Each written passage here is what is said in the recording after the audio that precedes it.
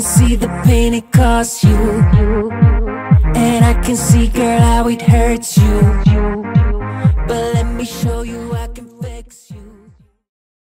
Всем привет! С вами на канале Железная Вера Вета Стаценко. И сегодня мы поговорим об Арнольд классике, только что прошедшем в Мадриде.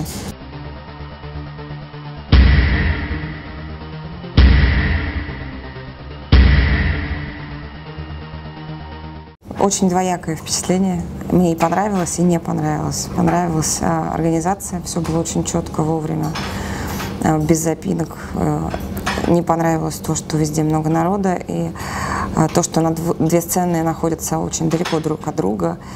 Невозможно бегать туда-сюда, если у тебя выступают спортсмены и на одной сцене, и на другой, что, в общем-то, у меня и получилось. Впечатление от судейства, ну, в общем-то, самое обычное, наверное. Мне досталось в категории бикини судить финалы высоких категорий.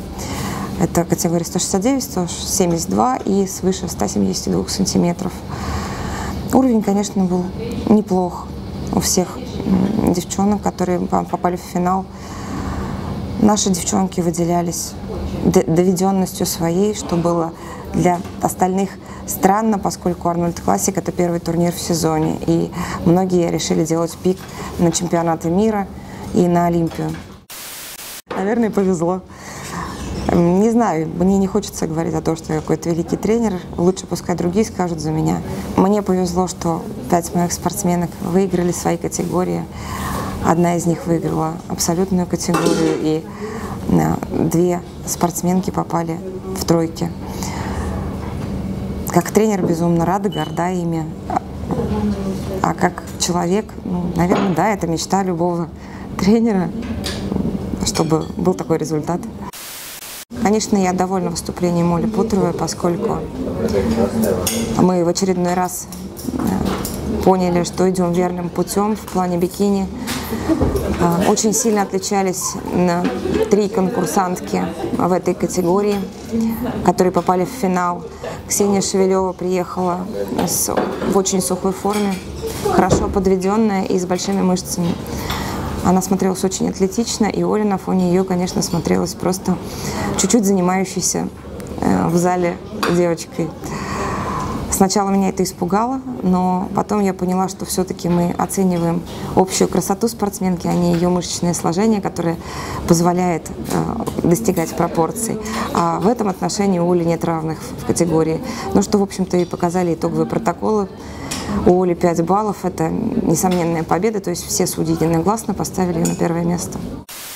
Мы разговаривали с Дианой о переходе в ПРО, поскольку она выиграла абсолютку на Арнольд Классик, что позволяет, э, что дает право получить профессиональную карту на следующий год. А, Но э, по рассуждениям здравым решили, что такое решение будет преждевременно уходить в профессионалы, решили остаться в любителях, поскольку в России более интересна категория любителей, чем профессионалы. Если э, ты хочешь уйти в профессионал, надо ехать в Америку и строить свою жизнь там, поскольку в России ты не найдешь спонсоров, которые бы оплачивали тебе постоянные поездки в США на турниры и на европейские про-турниры. Конечно, очень приятно было в, э, за женщин фитнес, которые выиграли этот турнир. Э, Было приятно за мужскую сборную, которая также себя очень достойно проявила на этом турнире. В принципе, дай бог побольше таких турниров, чтобы в каких-то категориях весь подиум был занят российскими спортсменами, а в остальных наши были бы все равно в лидерах. Я надеюсь, что будут всегда. Э, Сейчас у меня появилась новая интересная спортсменка Эля Алибаева. Она приехала с Украины, где была э, занимала второе место на чемпионатах Украины в своей категории. А также она была серебряной призеркой Еврокап. Мы готовимся к чемпионату области, потом Москвы и, скорее всего, попробуем себя на России. В категории боди-фитнес у меня новая интересная спортсменка. Помимо Татьяны Базель, а, а, это Даша Бобина. Она живет в Ярославле, приезжает ко мне тренироваться. И я очень надеюсь на ее успех в категории бодифитнес. Она перешла из категории бикини, в которой выступала весной. Также есть интересная девушка Ксения Олейник. Она будет выступать в высокой категории вместе с Олей Путровой. Всем спасибо, что вы были на канале «Железный мир». С вами была Ивета Стаценко с репортажем «Барнольд Классик».